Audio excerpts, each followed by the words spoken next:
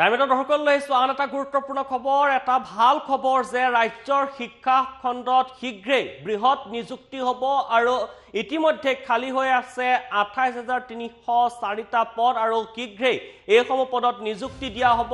ৰাজ্যৰ শিক্ষা খণ্ডত অচিৰে বৃহৎ নিযুক্তি দিয়া হ'ব। শিক্ষা বিভাগত খালী হৈছে আঠাইছ হাজাৰ তিনিশ চাৰিটা পদ।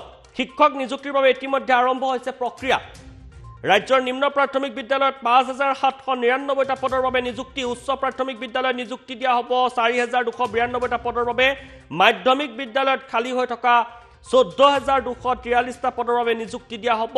উচ্চতৰ মাধ্যমিক বিদ্যালয়ত খালী হৈ থকা এহেজাৰ দুশ সাতাৱন্নটা পদৰ বাবে নিযুক্তি দিয়া হ'ব আৰু নিযুক্তিৰ বাবে ইতিমধ্যে প্ৰকাশ কৰা হৈছে বিজ্ঞাপন। আৰু এই কথা ঘোষণা কৰিছে শিক্ষামন্ত্ৰী হিমন্ত বিশ্ব শৰ্মাই। মন্ত্ৰী হিমন্ত বিশ্ব শৰ্মাই ইতিমধ্যে এই কথা ঘোষণা কৰিছে আৰু উল্লেখ কৰিছে যে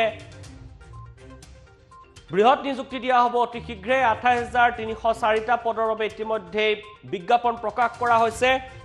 শিক্ষা খণ্ডত নিযুক্তি দিয়া হ'ব আঠাইছ হাজাৰ তিনিশ চাৰিটা পদত। ৰাজ্যৰ নিম্ন প্ৰাথমিক বিদ্যালয়ত পাঁচ হাজাৰ সাতশ নিৰান্নব্বৈটা পদৰ বাবে নিযুক্তি উচ্চ প্ৰাথমিক বিদ্যালয়ত নিযুক্তি দিয়া হ'ব চাৰি হাজাৰ দুশ বিৰান্নব্বৈটা পদৰ বাবে। মাধ্যমিক বিদ্যালয়ত খালী হৈ থকা চৈধ্য হাজাৰ দুশ তিয়াল্লিছটা পদৰ বাবে নিযুক্তি দিয়া হ'ব। আৰু মাধ্যমিক বিদ্যালয়ত খালী হৈ থকা চৈধ্য হাজাৰ দুশ তিয়াল্লিছটা পদৰ বাবে আৰু উচ্চতৰ মাধ্যমিক বিদ্যালয়ত খালী হৈ থকা এহেজাৰ দুশ সাতাৱন্নটা পদৰ বাবে নিযুক্তি দিয়া হ'ব। আৰু শীঘ্ৰেই নৱবৰ্ষতে এইসমূহ নিযুক্তি দিয়া হ'ব। দুহেজাৰ একৈছ বৰ্ষৰ প্ৰথমতেই এইসমূহ নিযুক্তি দিয়া হ'ব বুলি ইতিমধ্যে শিক্ষামন্ত্ৰীগৰাকীয়ে উল্লেখ কৰিছে।